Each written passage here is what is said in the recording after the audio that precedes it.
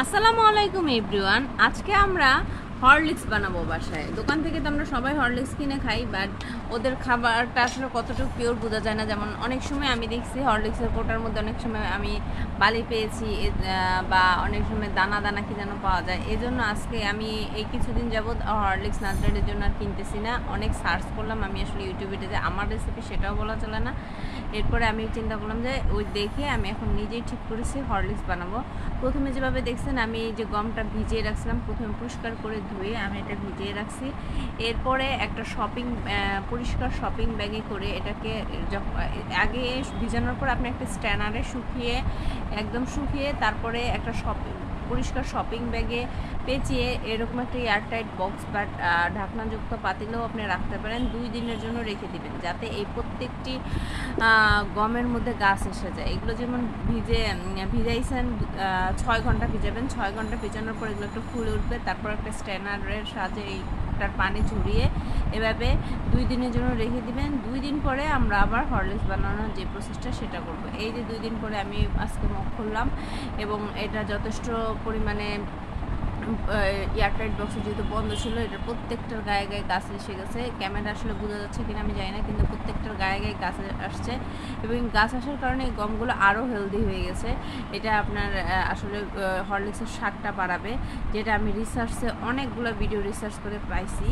এবং এরপরে এই হর গমটা আমরা এখন একটু ভাজবো। একটু ভাজার পরে তারপরে এগুলো আমরা প্ল্যান করব, যা যা দিব।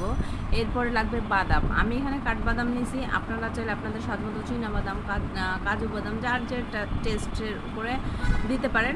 আমি কাঠবাদামটাই প্রেফার করছি, কারণ আমার কাছে কাঠবাদামটা অনেক ভালো লাগে। বা আপনারা চাইলে মিক্সড করেও সব বাদাম মিলিয়ে মিক্সড করেও দিতে পারেন। এটা যার যার ইচ্ছা। এই এগুলোও ওই গমের মতো একটু ভেজে নেবেন বাদামটা ভেজে। এরপরে আমি এর সাথে দুটো এলাচ অ্যাড করতেছি। আপনারা চাইলে এলাচের বদলে ভ্যানিলা এসেন্সও ব্যবহার করতে পারেন, কিন্তু আমার কাছে আসলে এলাচের ফ্লেভারটাই ভালো লাগে ভ্যানিলা এসেন্সের থেকে। তাই আমি এলাচটা ভেজে নিলাম এবং গমটা ভেজে নিলাম। এটা একটু হালকা ঠান্ডা করে এবার আমরা আসব এটাকে ব্ল্যান্ড করতে। এই যে এবার আমরা ব্লান্ডারে দিলাম। আপনারা যদি ব্লান্ড করতে না চান, আপনারা শিল্পাটায়ও বেটে ব্ল্যান্ড করতে পারেন। অনেকগুলো ভিডিও আমার এই ভিডিও করার সময় শর্ট ভিডিওর মতো হয়ে গেছে।